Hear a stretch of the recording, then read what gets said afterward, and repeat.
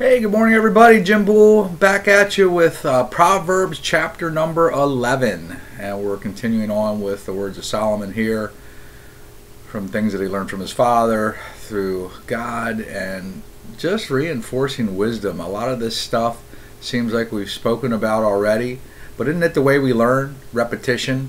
We have to be uh, told over and over and over again, or we have to go through things over and over again to get it to sink into our skulls sometimes. And again, I'll go back to me, Jim Boy. Yeah, yeah, I gotta, I gotta. Hmm, too many of that other stuff way back in the day, you know, so that didn't help. But anyhow, uh, we go through it over and over and over, and hopefully we learn from it and, and do what we can. So I'm going to jump right in. It's a long chapter. Again, uh, chapter number 11, Proverbs.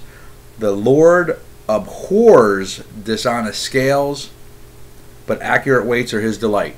So here they're referring to measuring systems back in the day. Uh, I had to look up the word abhors. You know, I have didn't do much school, ninth grade, tenth grade. I was out of there. But anyhow, abhors. I looked it up. Hate personified. So the Lord already told us that He hates dishonesty. Here He talks about the Lord abhors dishonest scales. Hate personified. Verse two: When pride comes, then comes disgrace but with humility comes wisdom. So, pride, huge subject, and we all want to be proud of our accomplishments, right? We want to be proud of our children. We want to be proud of our spouses. We want to be proud of our neighbors, whoever. That's all good, I think. In my eyes, it's good. Here it says, when pride comes, then comes disgrace. I'm going to say that I think it's okay to be proud of your accomplishments because you work hard and you achieve things. But I'm going to say uh, be careful about boasting about it and getting in people's faces about it. I did this, I did that. Nobody cares, man. They don't care about you. They care. I shouldn't say nobody cares. Most people only care about themselves. I'm trying to be, no, I'm not even trying to be politically correct because I'm not about all that either. But I'm trying to bring it back on me. So, uh, 2 talks about pride. Verse 3 The integrity of the upright guides them, but the unfaithful are destroyed by their duplicity, doing things over and over again. Wealth is worthless in the day of the wrath. When you're gone, you can't take it with you, but the righteous delivers righteousness delivers us from death. So here I'm taking the Lord saying that it's better to be righteous and have wisdom than it is to have money. Uh, the righteousness of the blameless make a straight way for them, but the wicked are brought down by their own wickedness looked at my footnotes here because that kind of threw me a little bit. The righteousness of the blameless makes a straight way for them. Self-explanatory, I guess, for someone smarter than me. But it uh, footnotes talks about reaching your goals. Easier to reach your goals, and uh, goes on and on about being righteous. Uh, different parables here. When a wicked man dies, his hope perishes. All he expected from his power comes to nothing. And trust me, I'm not just overlooking these, saying they have no importance please read through them, gain what you can from them. I'm just trying to keep the video a little shorter. So I'm going to put the verses again uh, inside the comment section. Again, I'm doing a different recording device here with my webcam, trying to be able to save some of this stuff that I'm doing the iPhone. I'm losing my information or it's harder to transfer, but anyhow, it doesn't matter. Uh, verse 9 With his mouth, the godless destroys his neighbor but through knowledge the righteous escape. And I'll go back to that mouth thing again I talked about yesterday, using your ears more than your mouth. Probably gets you a little further ahead in life. Uh, this talks about slander, gossip, things like that. With the, his mouth, the godless destroys his neighbor. Uh, it's okay to talk to your neighbors by all means, but be careful what you're saying and, and use the wisdom that you obtain from God. Uh, when the righteous prosper, this is verse number 10. When the righteous prosper, the city rejoices when the wicked perish, there are shouts of joy. Now, I believe that there are more people out there that want good than want evil. Sorry, I needed to wet the whistle. I think there's more people out there who enjoy good they want to be safe. They want to know that their kids can go to school and travel around. I mean, when I was a kid, we're walking the streets going for blocks away and no one's with us. We're six, seven, eight, nine, ten years old. We're out all day. Today, you see a kid walking along a city street, you're like, ah, where are his parents? What are they thinking? You know? The world's changed a lot. Uh, so, I think the majority still want to see the good. But I don't think that the, the majority of the people, education, the proper education has been taken from us. They want us to know this whatever kind of math they're doing now. Core math is it called? Parents help me out. I don't know. Crazy stuff. And yeah, you can get two plus two equals ten. You can make something up and get to that. Two plus two equals four. But I think that people don't know where to find the proper wisdom, the proper goodness. Share this stuff with your peeps, man. Share it around. The, the wisdom that's in Proverbs in this entire Bible, greatest book on success ever written.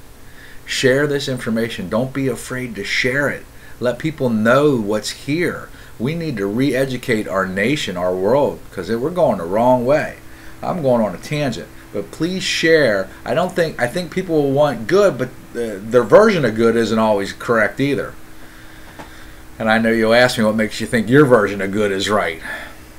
It comes down to opinions and think about it. Just think about it. That's all I'm asking. Just think about it. Let's go on. Uh, I jump down here to verse 14. For lack of guidance, a nation falls, but many advisors make victory sure.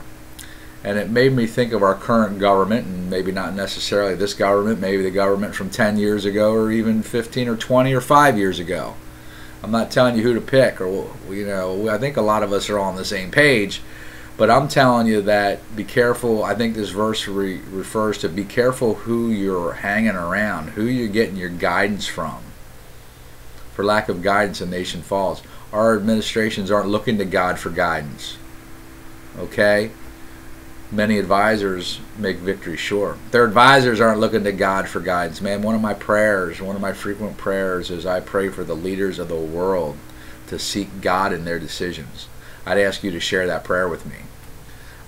Verse 15 He who puts up security for another will surely suffer, but whoever refuses to strike hands and pledge is safe. Talked about this a couple chapters ago.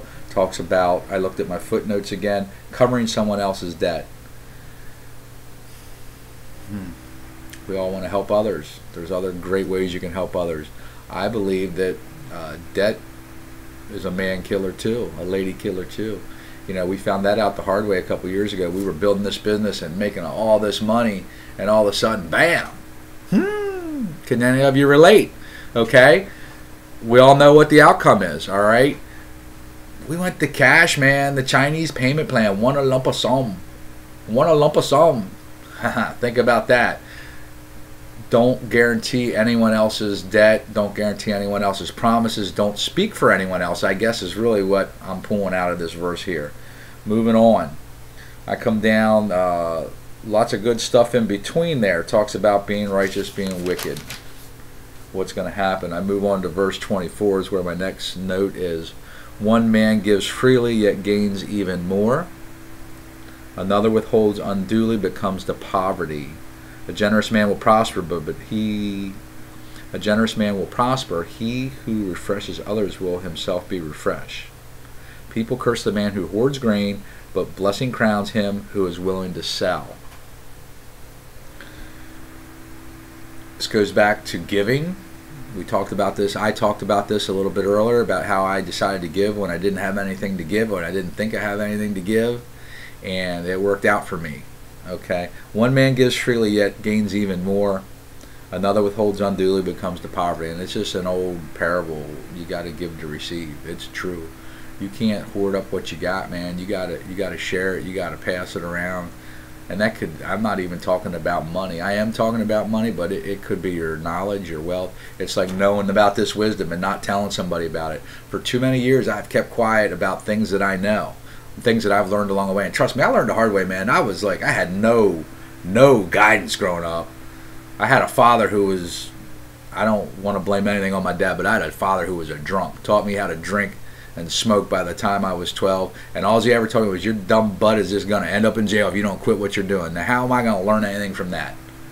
Okay? Over and over again. Your dumb eh, is going to end up in jail if you don't quit doing what you're doing. How am I going to learn anything?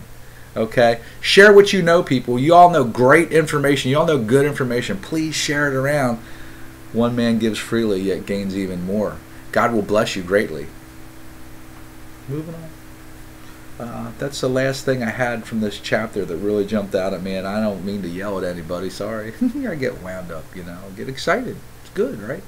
So uh, on down through again, it just uh, verse 29: He who brings trouble on his family will inherit only wind, and the fool will be servant to the wise. The fruit of the righteous is a tree of life. If the righteous receive their due on earth, how much more the ungodly, the sinner? That's the last verse in this chapter, verse 31. If the righteous receive their due on earth, how much more the ungodly and the sinner? And I take that meaning that if you do good or you do wisely, I hate using the word good. You can't be good enough, okay? If you if you make the right decisions based on these proverbs, based on the teachings of God, the information that's in this Bible, you're going to receive your due. On the other hand, if you don't, how much more the ungodly and the sinner, how much the Lord's going to triple, double, whipple, triple, flipple the bad stuff on you. So there you have it. We got chapter 11 Proverbs, Motocross for Christ, August Challenge. I thank you all for following along. This has been fun. We're going to keep after it. Oh, and one uh, new news coming out. Uh, I'm going to, I, talked about sharing. I've decided that uh, I need to share what I know or what I believe to know. And uh, I hope you're all enjoying this. But uh, starting the end of August uh, at the Mama Ray series, we're going to be out there. I'm going to be out there sharing a message on Saturday nights. Uh, little testimony, little uh, biblical. Uh, I, I want to invite you all to come out. There'll be more coming out on that later. But please spread the word. Jim Bull going to be coming around on Saturday nights, and we'll be doing a prayer Sunday morning at Riders meeting. So I hope you all will partake in that. Partake in that. We love you guys. We'll catch you later. Have a great day.